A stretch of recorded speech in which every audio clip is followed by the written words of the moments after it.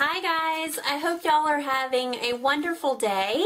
I am going to participate in a tag that Jayme just did several weeks ago and now it's my turn. This is the My Go-To Makeup Look. Now this was started by our friend Kristin here on YouTube. Her channel is Kristin G-E-H-M.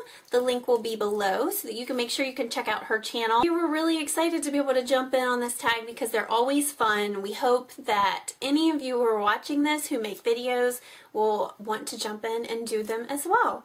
So I'm going to just go right to what I do as far as kind of a no-brainer what I reach for when it comes to makeup on a daily basis when I don't want to put a whole lot of thought into it.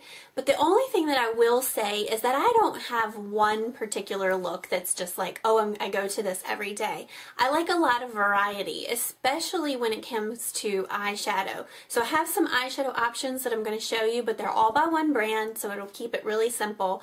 So after I have done my skincare for the day, which would include, you know, moisturizer, eye cream, you know, making sure my skin is completely prepped. I use like a primer, a face primer. It's actually Clarins um, Flash Beauty Balm. I love that. Then I go right into applying my BB cream. I don't wear a full face foundation, so I reach more for tinted moisturizers or BB creams. This is L'Oreal's Youth Code BB cream in the shade called Light, and I have really liked this one. Um, I think that there are a ton of decent BB creams out on the market, but if you are kind of new to BB creams, I would try some drugstore brands before you splurge on like a more expensive prestige brand. After that, I apply my concealer. And I just dot this, this is the Maybelline Instant Age Rewind, just under my eyes, just to fill in any dark circles that I have and just kind of brighten up my under eye area. And we have gone through so many of these. As you can see, this one's getting really low. And this is in the shade called Brightener, so it's not actually like a flesh toned. And I like the Brightener just because it it gives you like that illuminating look kind of under your eyes and it just makes your skin I think look prettier and more awake. And then I use a Korres um, eye primer. Eye primers to me, I swear by them. I would, they're Definitely a step that I do not skip at all. And this Korres Anti-Aging Eye Primer is what I've been using for the last couple of months. And I love it. I think that this is about done. I'm going to have to end up getting a new one soon. But this has been a great one if you guys want to try this brand.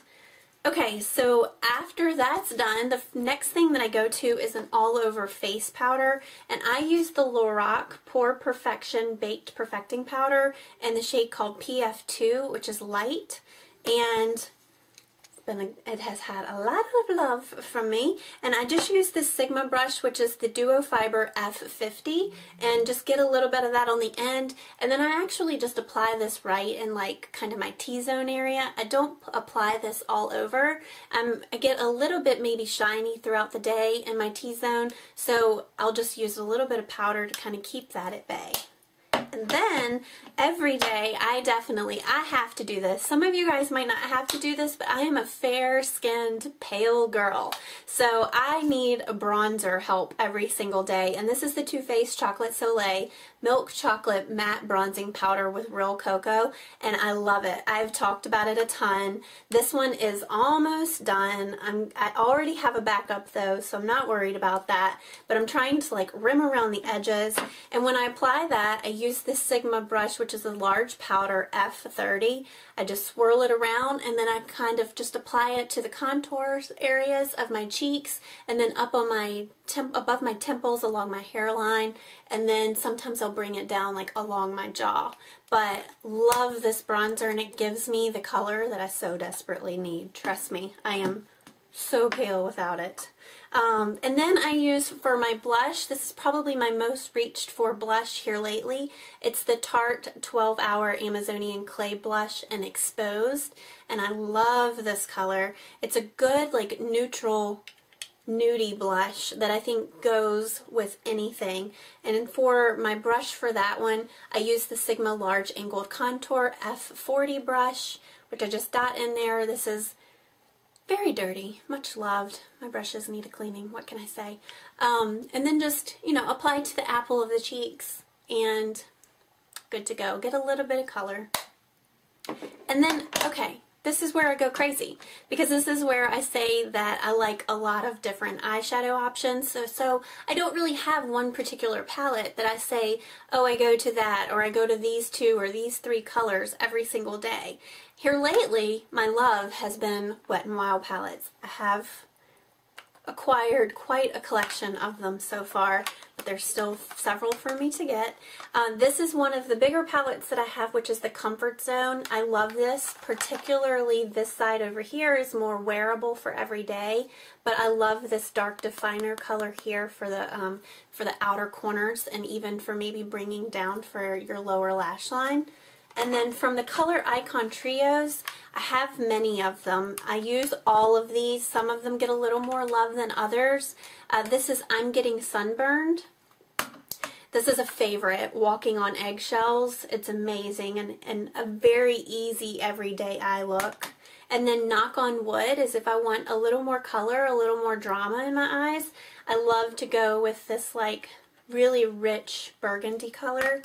And then Sweet as Candy, very simple, very pretty. And then another favorite, we've talked about it a lot, Silent Treatment. Such a great palette to go to every day when you really don't want to put a lot of thought into what am I going to do for my eyes today. I either go with the silent treatment or walking on eggshells. It doesn't get any easier than that. I get a more brown color from this and I actually achieve a little bit more of a black gunmetal color from the Silent Treatment palette. So just depends on what I'm wearing. And that's another thing as far as when I think about what I'm going going to go to for my makeup on a daily basis, I kind of already have an idea of what I'm wearing. I don't know if you guys do that or not, but that kind of helps me know if I'm going with a blacks or if I'm going with browns or plums. It's just easy, kind of cool, keeps it simple. And then here are my favorite Sigma eye brushes. My main one that I use for all over lid color is this large shader E60. Just a really flat, good brush to pack on the color on your eyelid. And then for the outer corners and for the crease, my favorite is the medium angled shading E70. And I love this one. It gets, because of the angle, it gets into your crease wonderful and you can just Honestly, the length from here to here on this brush is the perfect length for taking out your your eyeliner on your outer corner. And I think Jayme's already talked about that in a tutorial, and I'll kind of hit on that as well in a future tutorial. And then I love using the Pencil E30 brush for applying, kind of sometimes dragging the darker color that I'm using for the day down onto my lower lash line if I want kind of a soft smoky effect. And then this is what Jayme and I like to refer to as our magic brush. This is the Sigma Tapered Blending E40. If you are going to go out and buy a Sigma brush tomorrow and you just want to start with one and you're not sure which one to get, I highly recommend this one. It erases your mistakes with ease and just makes everything look good and smooth. No harsh transition lines in between your shadows. So I love this. Definitely um, we can would not say enough about our Sigma brushes. We love them. Alright, and then just to finish up my eyes, I have been reaching for my Stila Smudge Stick Waterproof Eyeliner in the shade Damsel. This is a very rich, deep chocolate brown. I've been reaching for this the most here lately. It's also waterproof, which is always can be handy. Sometimes hard to get off, but handy. Um, and then the Benefit They're Real Mascara. This is one of my all-time favorite mascaras. Jayme loves it too. And we just can't say enough about what this does for our lashes. It makes my lashes look so long. I've tried a gazillion different mascaras. This might be like $22, $23, something like that, but it's definitely a, a mascara that's worth saving up for. And then I try to every day, but quite honestly, I don't do it every day. Um, but I try to sometimes fill in my brows. I have very light eyebrows because of my hair color. So I use this Revlon Brow Fantasy. I have to use it in the shade Brunette. It's not obviously what I would like to be using. I wish that they had one for Auburns, but they don't. So Revlon, could you work on that for me? Um, but this is just a pencil on one end and a brow gel on the other. The brow gel is what I use the most, and I will just lightly dot it on my eyebrows, just a couple of little places, and then use a spoolie to kind of brush that color out. That way the brunette shade isn't like too dark for me. It blends out really nicely to kind of more match my hair color.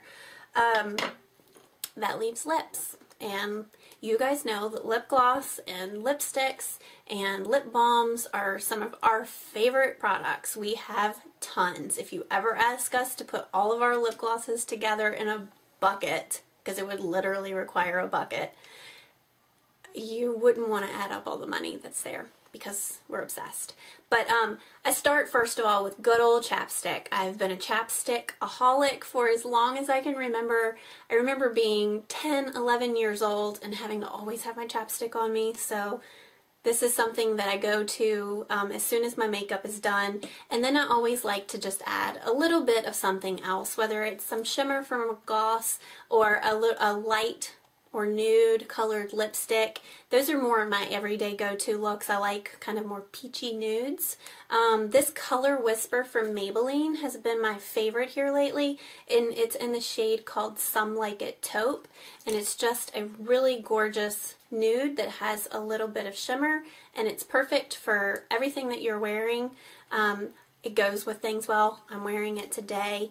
Sometimes if I do a more smoky eye, I like to keep my lips simple. So that's it.